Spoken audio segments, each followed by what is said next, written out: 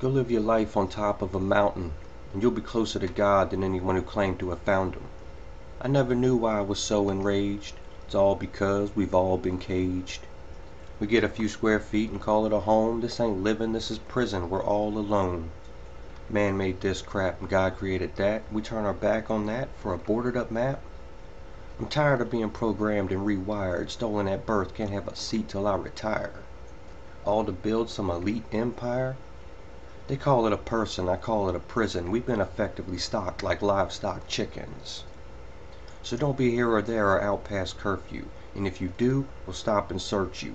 Throw you an orange pair of pants and a shirt too. Pepper spray, tased, and beat just to hurt you. Guess that's part of the perks of being a jerk too.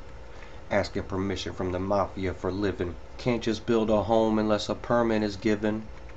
Get married, have a business, or even go fishing. I guess this is what the devil really envisioned.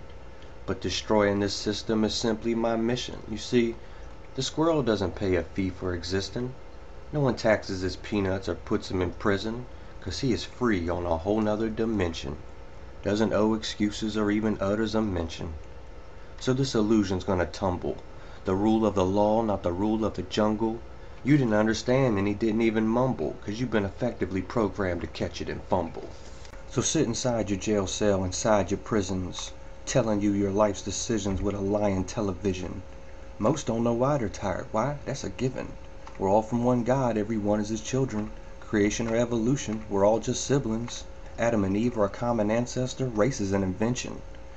We're all brothers and sisters, that's something nobody mentions. Making you forget was the devil's intentions. As long as we fight amongst ourselves, we'll never see their true visions. Let's blow it off the hinges, man. Screw the division. Coming together is the keys to the doors of our prisons. What would we do without government? How could we not live with it? Assault, rapes, and murders the only thing prohibited. Theft doesn't exist in this world, we just visiting. Bring back the family and hug the kids again.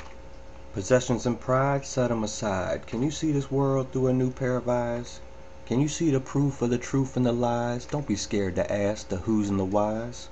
Three simple rules, life, liberty, and personal freedom. Man in the mirror, give 'em what they want to see then. They don't want the simple answer, the undeniable truth. What's the real problem? The problem is you.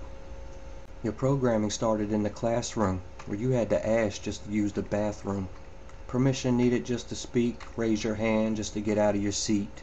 And when the bell rings, you get a second to take a leak. And when you rebel, pills is all you will eat. 'Cause the sane are insane when they think what they speak. And now you're 18, so you say you're free, but take a look and you'll see you won't even get one ounce of peace. Two hours getting ready after eight hours sleep, an hour for your lunch in between an eight hour streak, an hour getting home 'cause traffic is peaked, an hour for your dinner 'cause the kids gotta eat, and then comes the homework 'cause kids gotta succeed. You gotta show the next breed how to be exec thieves. And with your two free hours you watch a TV and you want to tell me you believe to be free. It's the same song each, each, each week. It's like your stupid lame brain is stuck on repeat. And instead of telling the government they can beat feet, we just stand there and accept our total and utter defeat. Can you see it?